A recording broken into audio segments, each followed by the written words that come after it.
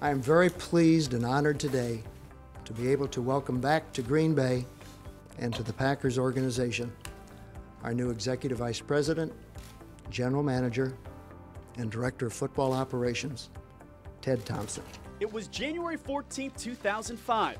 Ushered in by former Packers president and CEO Bob Harlan, Thompson beginning an unprecedented era of stability in the franchise.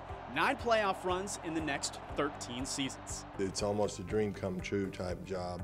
Uh, you think about when you're a young kid, some of the uh, things you'd like to do when you grow up, and you think maybe the uh, manager of the New York Yankees or maybe the general manager of the Green Bay Packers. I think when you step back and you look at it, uh, what he has accomplished as our general manager speaks for itself. Pretty remarkable, really. He's a very humble man, tremendously loyal to the Packers. His first move, selecting Aaron Rodgers 24th overall in the 2005 NFL Draft. Not a lot of things went the way we thought they'd go, but uh, I'm just so excited about being able to go to a team that wants me and a team that I can learn from the greatest quarterback of our day right now. And I'm just excited to get out of that green room, and I couldn't be happier with the team that picked me and what next year and the years to come is going to look like being a Packer.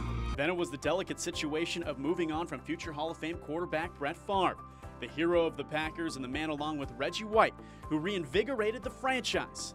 While many fans wanted to see the gunslinger end his career in Green Bay, it was Thompson's decision to cut ties, a move that initially hurt the ego of the fan base, but was the right move for the organization. Fast forward three years, and it's Thompson's first pick, Rodgers leading the team to its fourth Super Bowl title and its first this century, beating the Pittsburgh Steelers 31 25.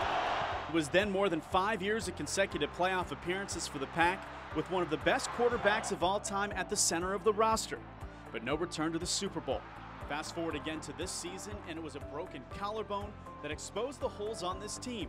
The Packers missed the playoffs for the first time in nine years, and less than 48 hours later, Ted Thompson's tenure as general manager is over. He did it his own way, the Ted Thompson way, accomplishing in 13 seasons more than most